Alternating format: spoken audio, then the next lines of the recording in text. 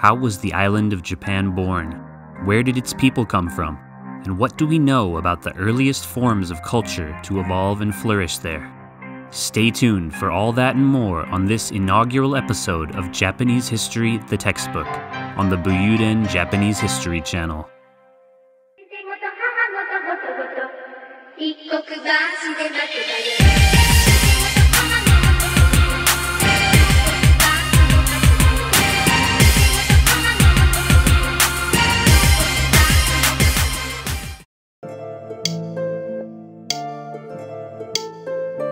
Hello, everyone, and welcome to the Buyuuden Japanese History Channel. Buyuuden is a Japanese word that roughly translates to Tales of Heroic Exploits or Tales of Valor. And with this channel, I'm hoping to explore a wide variety of topics in Japanese history. I think that outside of Japan, it's still surprisingly difficult to casually get one's hands on good, trustworthy, detailed information about Japanese history. And since I live in Japan and do a lot of reading about these subjects in Japanese, I would like to become a helpful source of information for those who may be interested. This first video series, Japanese History, the textbook, is going to be aimed at providing a general overview of the history of Japan starting in the truly ancient prehistoric period and going all the way up until the Bakumatsu and the fall of the Tokugawa shogunate at the end of the 1860s. The added twist for this series is that everything I tell you is going to be based on Japanese educational materials aimed at junior high school and high school students in modern Japan. So, if you've ever wondered what kind of history actual Japanese people, and particularly public school students, are learning, how events are characterized, what is emphasized, what isn't, then this is the video series for you. And, of course, if you are just looking to get a general foundational knowledge of Japanese history, told in chronological order, then I also think you will enjoy this series. That being said, I am 100% intending to dive into some more specific topics at a later date, especially pertaining to Japan's Middle Ages and everyone's favorite history of the samurai. But for the time being, I want to start with this general outline so that we can all really fortify our knowledge base, and honestly also just for me to get some practice making videos. The two main sources I will be using for my information for this video series are the books Gakken Nyu Kosu Chugaku Rekishi and Teimabetsu Dakara Rikai ga Fukamaru Nihonshi. The former is a Sankosho, a reference book for junior high school students, and it's intended to be used as a supplement to whatever textbook that student is using, explaining things in depth and even providing sample test problems at the end of each major section. As it is a study supplement for public school students, it contains almost exactly the same info as a standard textbook does. I almost felt guilty buying it because I might have deprived some poor struggling kid of a helpful study resource. The second book is not explicitly aimed at students, but I did buy it not from the history section, but from the study reference section of my local bookstore, and its author is a professor at Showa Women's University, who also apparently lectures part-time at the junior and senior high schools attached to that institution. The book is full of pictures and diagrams and is laid out quite similarly to a textbook, so I think it will be a good addition to the first book and will provide us with some extra little details to flesh out our overview. Alright, without further ado, let's jump right in. Japan's prehistory, the Paleolithic period, and the Jomon period. The Japanese archipelago was formed about 30 million years ago when a massive earthquake on the eastern edge of the Eurasian continent caused a giant rift to form in the land along the Pacific coast. Over the course of millions of years, this rift gradually grew larger and became filled with seawater, and the land that would eventually become Japan began to separate away from the mainland. Some 20 million years ago, a collision between a volcanic island and this proto-Japan landmass resulted in the creation of the Izu Peninsula and the Kanto Plain, and about 5 million years after that, a collision with the Philippine Sea Plate further shaped the region's geography. Significant plate activity in this area is what resulted in the formation of Japan's many mountains, and it's also the reason that the country still experiences so many earthquakes and so much volcanic activity today. Finally, by about 3 million years ago, Japan had arrived at the shape and physical characteristics which it holds today. As an interesting aside, the period between 770,000 and 126,000 years ago, known to many as the Pleistocene period, was renamed the Chibanian period in 2017 after strata from the period which are preserved in Japan's modern Chiba prefecture. During the Ice Age, or last glacial period, which lasted up until about 10,000 years ago, the Japan archipelago was covered in primeval forest and was still connected to the Asian continent by land due to the sea level being about 100 meters lower than where it currently is today.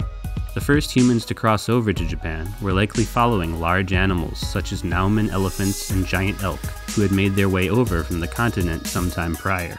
The Naumann elephant, a type of ancient elephant which existed in India, China, and Japan, weighed between 4 and 5 tons as an adult and could provide a hunter with about 1.7 tons of meat. Simply from a volume perspective, this is enough to feed a single person with a kilogram of meat every day for more than four and a half years, so it's not hard to see why these animals were an attractive hunting target. Tusks of these elephants, as well as antlers of the aforementioned giant elk, have been discovered deep in the bed of Lake Nojiri in modern Nagano Prefecture, providing scientists with proof of these animals' migration. The human crossing to Japan seems not to have been a uniform event, with at least two disparate groups coming over to the island. The first of these groups, who we call the Jomon people, came from Southeast Asia, and they were the group who came over on the previously discussed land bridges during the Ice Age. The second group, who we call the Yayoi people, came from the northern part of the Asian continent much later, during the Yayoi period, which we will discuss in our next episode. Most modern Japanese are a blend of these two groups, although there are of course some other groups involved. There is still no consensus as to when exactly the Jomon people made their way over to Japan, but the earliest evidence of human activity on the island dates back to around 40,000 years ago. Japan's Paleolithic period, or Old Stone Age, Kyuseki Jidai, began several tens of thousands of years ago and lasted up until about the end of the Ice Age. In pre war Japanese academia, it was long thought that Japan had no Paleolithic period and that there were no humans on the island at all. But new discoveries in the post war era revealed that this was in fact not the case. The first of these was the discovery of the Iwajuku site in the modern day city of Midori in Japan's Gunma prefecture. In 1946, amateur archaeologist Aizawa Tadahiro was passing through the city, at that time called Kasagake Village, as part of his day job as a traveling salesman, when he discovered a flaked stone tool, known in Japanese as dase seki, made of obsidian, kokuyo seki. Gunma Prefecture is part of the Kanto region of Japan, and much of this region is covered by what is known as the Kanto Loam, a layer of volcanic ash soil which is thought to have finished accumulating about 10,000 years ago. Following Aizawa's discovery, a full fledged archaeological survey was carried out in 1949 by Meiji University, and it was officially confirmed that Japan did indeed have a Paleolithic period.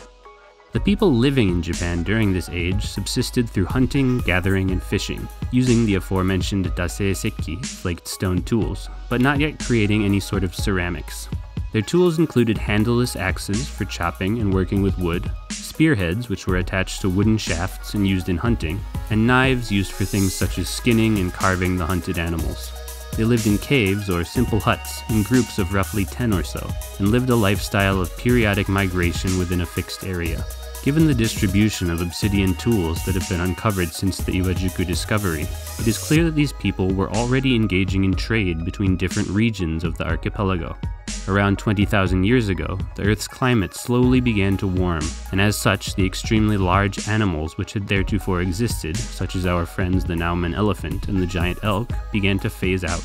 With this change, human tools began to change as well, generally becoming smaller, but also improving in functionality.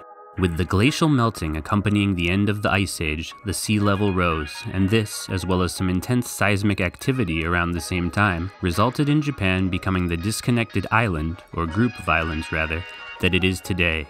As Japan became isolated from the Asian mainland, the stage was set for linguistic and cultural characteristics unique to the island of Japan to begin to form. As another little side story for you, in the 1990s there was a Japanese archaeologist named Fujimura Shinichi, who was known in the Japanese archaeological community as God Hand, because whenever he visited a prehistoric dig site, some new artifact was discovered. In particular, at the Kamitakamori site in Miyagi Prefecture, he discovered a stone tool that proved the existence of Paleolithic culture in Japan as far back as 700,000 years ago. That is, until it was revealed that Mr. Fujimura had faked the artifact, as well as artifacts at 41 other dig sites. According to him, he started faking the artifacts out of a desire for recognition, and then continued because of the pressure of the God Hand nickname. Either way, the revelation of Fujimura's trickery caused quite a stir and reminded the Japanese archaeological world of the need to always be extra careful when verifying finds. The era known as the Jomon period is typically thought to have lasted from about 12,000 years ago up until the 4th century BC. The culture of the people of this era is characterized by groundstone tools, masei rather than flaked ones, bone tools, wooden tools such as boats and bows, and of course, perhaps most famously, Jomon pottery. This pottery is characterized by patterns reminiscent of knotted rope and was fired at a low heat, giving it a blackish brown hue and making it both thick and yet also relatively fragile. Many of these pottery items were used for culinary purposes. The pottery is actually the basis for the name of the era, with the Jo in Jomon being the onyomi or Chinese reading for nawa or rope, and the mon meaning pattern, so literally rope pattern. Given the difficulty of defining Japan's Neolithic period, this term Jomon is typically used instead. As I mentioned, the period is generally held to have begun 12 to 13,000 years ago, but some new discoveries in Aomori Prefecture of pottery dating back to 16,500 years ago have cast some doubt on this definition. The people of the Jomon era, like those of previous periods, lived in small, close knit groups bound by ties of kinship and relied mostly on hunting, gathering, and fishing for survival. They tended to live close to bodies of water and in post in ground pit dwellings, tateyana jukyo. The floors of these dwellings were dug about 50 centimeters down into the ground, and they were covered with grass thatched roofs supported by posts which were also dug into the ground. Interestingly, the size of one of these dwellings is described in the textbook I'm using here as being about that of a 4 to 5 tatami mat room, as this is typically how room sizes are described in modern Japan. This equates to about 7 to 9 square meters, and typically 4 or 5 people would have lived in one of these homes.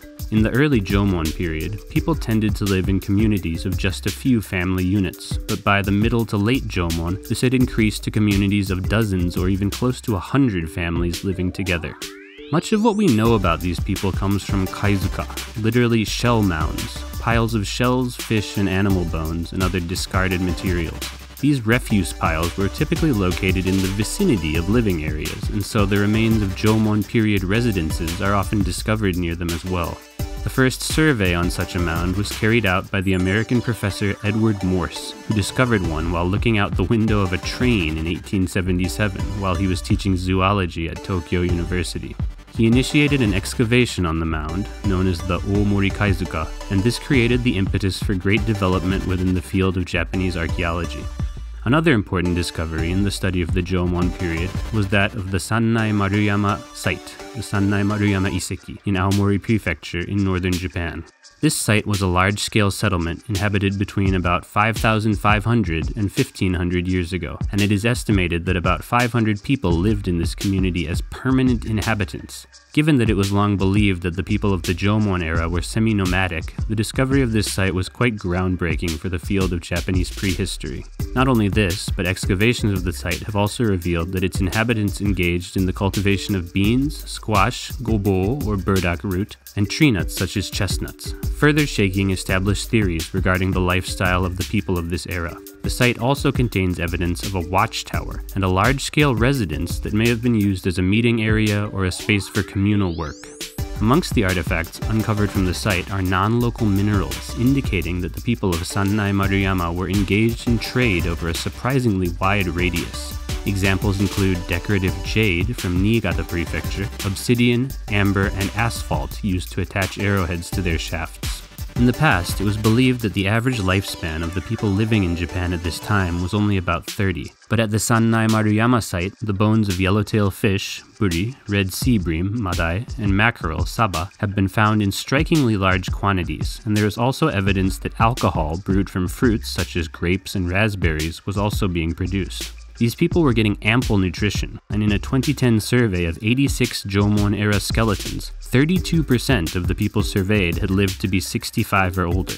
With their relatively stable supply of food, the people of the Jomon era were able to spend some of their time engaging in cultural pursuits, such as the creation of elaborately decorated pottery and the ceramic dolls for which the era is famous. These people worshipped nature as a deity, and belief in the power of charms and divination played a large part in their lives. The aforementioned dolls were ritualistically used to pray for good harvests, family prosperity, and protection from evil. And the fact that they are often found in a destroyed state leads us to believe that their destruction was a part of these rituals.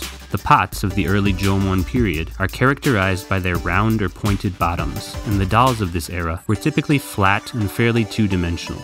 In the Middle Jomon period, decoration on pots becomes more three dimensional, and their bases begin to flatten out, and the dolls also become three dimensional figurines. By the late Jomon, the shapes of the pots became truly refined, and we really begin to see specific shapes being used for specific purposes.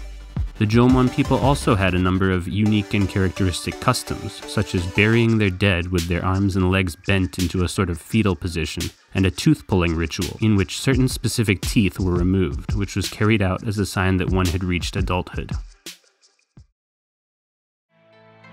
Skeletal remains from the tail end of the period begin to show signs of weapon inflicted wounds, and it is believed that the population increase and food shortages resulting from climate changes were beginning to result in armed conflict between settlements. And with that bit of foreboding information, we have reached the end of our history of Japan's Paleolithic period and Jomon era. Tune in next time as we tackle the Yayoi period, where we will take a look at the country of Yamatai, also known as Yamato, and its mysterious priest queen Himiko. Thanks for watching, have a great day, and boom,